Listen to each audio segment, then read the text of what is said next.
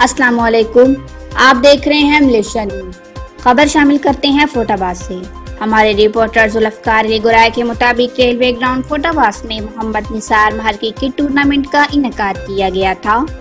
इस टूर्नामेंट को Chaudhary Shakeel Anwar from UK Haji Sajid Hussain from Saudi Arab और मोहम्मद निसार महल from Malaysia ने मुनद करवाया।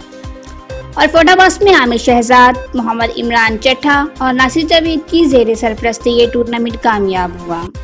इस टूर्नामेंट की अफ्ताही तकरीब के मेहमान खसूसी मोहम्मद जावेद महर, जुल्फकार अली गुराया और फातिह हुसैन थे। और फाइनल मैच के मेहमान खसूसी चौधरी नसीर अनवर, हाजी इस्लाम, चौधरी नुमान शफीक और उस्मान गनी वेलफेयर फाउंडेशन के मेम्बरान थे।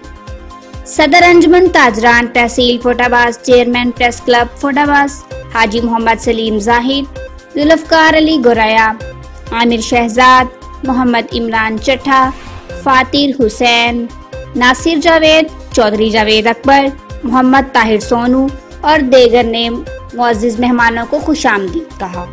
टूर्नामेंट 10 से 18 सितंबर तक जारी रहा। इस टूर्नामेंट में कुल चौदह टीमों ने शिरकत की और तमाम खिलाड़ियों ने शानदार खेल का मुजाहरा किया और तमाशाइयों से खूब दाद वसूल। की final match universal cricket club और फ्रेंड क्रिकेट क्लब के दरमियान खेला गया, जो शानदार मुकाबले के बाद यूनिवर्सल क्रिकेट क्लब की टीम ने जीत लिया।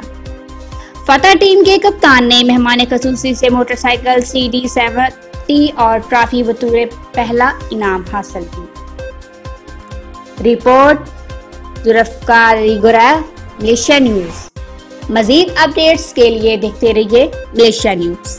अल्लाह निगेबान